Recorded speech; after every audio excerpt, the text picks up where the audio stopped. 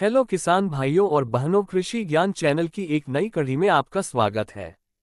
किसान भाइयों और बहनों, मिट्टी में जैविक कार्बन मिलाना उसे स्वस्थ और अधिक उपजाऊ बनाने के लिए एक विशेष उपचार देने जैसा है। मिट्टी में जैविक या कार्बनिक कार्बन आप कैसे डाल सकते हैं? किसान भाइयों और बहनों, आइए जान लेते हैं। खाद आप रसोई के स्क्रैप फलों के छिलके, सब्जियों के बचे हुए टुकड़े, यार्ड के कचरे पत्तियाँ, घास की कतरने जैसी चीज़ों को इकट्ठा करके खाद बना सकते हैं। इन्हें एक ढेर या डिब्बे में एक साथ मिलाएँ और प्रकृति को अपना जादू दिखाने दें। कुछ महीनों में आपके पास पोषक तत्वों से भरपूर खाद होगी जिसे आप स्वादिष्ट नाश्ते की तरह अपनी मिट्टी में मिला सकते हैं। मल्च। गीली घास को अपनी मिट्टी के लिए एक आरामदायक कंबल के रूप में सोचें। आप अपने पौधों के चारों ओर मिट्टी के ऊपर लकड़ी के टुकड़े, पुआल या कटी हुई पत्तियाँ जैसी चीज़ें फैला सकते हैं।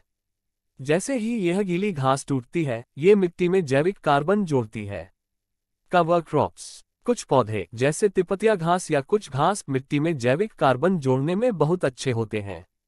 आप उन्हें अपने बगीचे में लगा सकते हैं और फिर बाद में उन्हें मिट्टी में मिलाकर उसे समृद्ध बना सकते हैं। पशु खाद जैसे गाय या मुर्गी का मल कार्बनिक कार्बन को बढ़ावा देने का एक और तरीका है। किसी भी अप्रिय गंध से बचने के लिए बस पहले इसे कंपोस्ट करना सुनिश्चित करें। जैविक उर्वरक, ऐसे जैविक उर्वरक उपलब्ध हैं जिनमें खादयुक्त पौधों जैसे कार्बनिक पदार्थ होते हैं। पोषक तत्वों को बढ़ावा देने के लिए इन्हें आपकी मिट्टी पर छिड़का जा सकता है। इसलिए मिट्टी में जैविक कार्बन मिलाना उसे स्वादिष्ट व्यंजनों से भरपूर स्वस्थ आहार देने जैसा है। ये मिट्टी की संरचना में सुधार करता है, पौधों को बेहतर बढ़ने में मदद करता है, और आपके बगीचे या खेत को अधिक उत्पादक बनाता है। जैविक कार्बन मिट्टी के लिए भोजन के समान है। जिस प्रकार हमें स्वस्थ और मज़बूत रहने के लिए भोजन की आवश्यकता होती है, उसी प्रकार मिट्टी को उपजाऊ और उत्पादक बनाने के लिए जैविक कार्बन की आवश्यकता होती है। किसान भाइयों और बहनों, जैविक कार्बन मिट्टी के लिए क्यों महत्वपूर्ण है, आइए जान लेते हैं। जैविक कार्बन मिट्टी में रहने वाले बैक्टीरिया और कवक जैसे छोटे जीवों के लिए एक स्वादिष्ट भोजन है। जब वे इसे खाते हैं तो वे पोषक तत्व उत्पन्न करते हैं जिनकी पौधों को वृद्धि के लिए आवश्यकता होती है।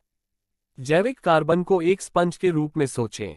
यह पानी को सोख सकता है और उसे रोक कर रख सकता है, जिससे पौधों के पीने के लिए मिट्टी को नम रहने में मदद मिलती है।